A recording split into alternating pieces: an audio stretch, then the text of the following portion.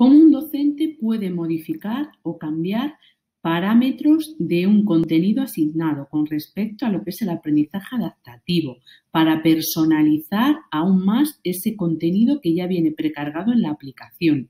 Lo puede modificar o personalizar para todo un grupo y lo puede hacer para un solo alumno.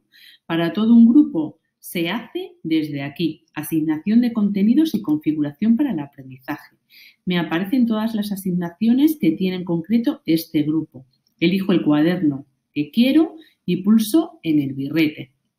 En este birrete, a su vez, me aparecen los tres cuadernos de ortografía que forman parte de la colección y los puedo modificar, reajustar, adaptar, personalizar al grupo por aquí, por este birrete.